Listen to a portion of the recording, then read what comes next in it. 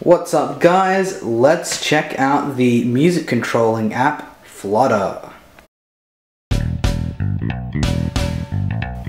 Okay, so Flutter is meant to be this really cool app that lets you control uh, Spotify or iTunes by using hand gestures which are detected by your webcam.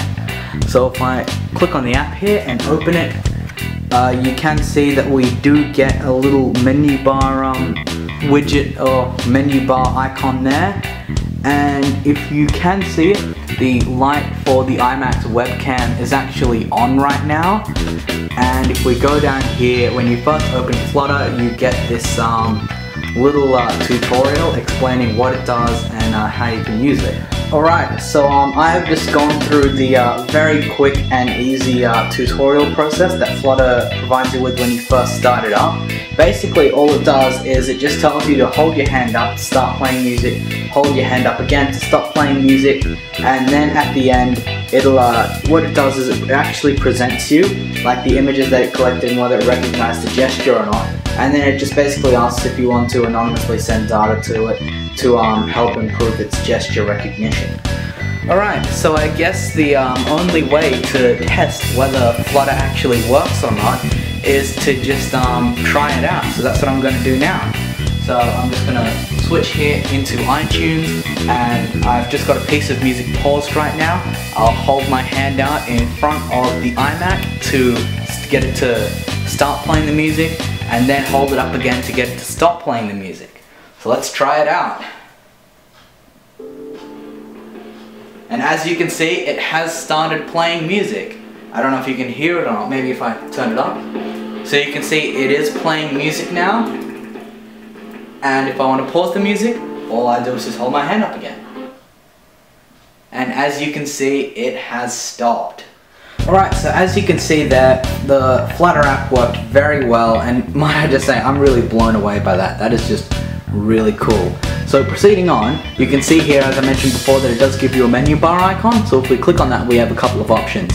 Now the first option here is turn camera off. Now the reason why that option is there is because whenever the Flutter app is running, you'll see that the um, green LED for the camera is always on, which means that the camera is on because it has to be on in order to be able to detect, uh, to detect your gesture at any time while iTunes or Spotify is running. So if you click on turn camera off, the uh, Flutter app icon kind of uh, grays out and the camera turns off as the menu option suggests. So we'll turn the camera back on and prevent you with a message saying you are now controlling iTunes. So if we click on it, the next option is auto start on login and as the name suggests what that'll do is it'll just um, you know turn turn Flutter on when you turn on your computer just like uh, other apps.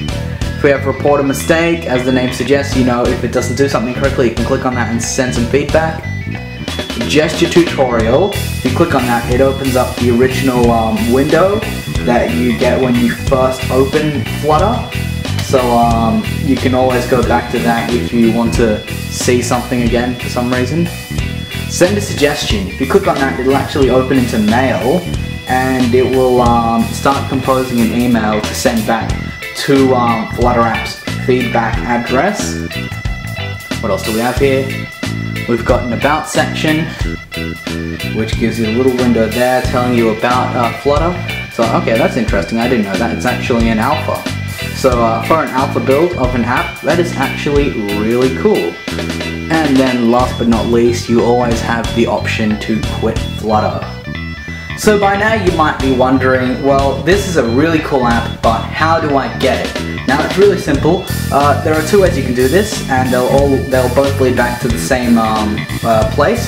So the first thing you can do is open up Safari and go to flutterapp.com, and you can have a look at the website. It'll tell you, you know, how it does things and uh, all sorts of things. And it's just really cool to just scroll through and see all the awesome HTML5 animations they have here.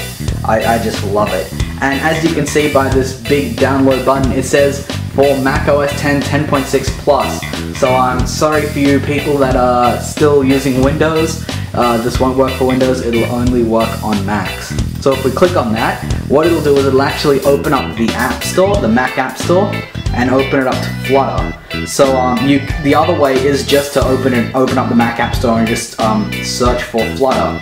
And I have it installed here, the button says, but this is free, so that is pretty cool.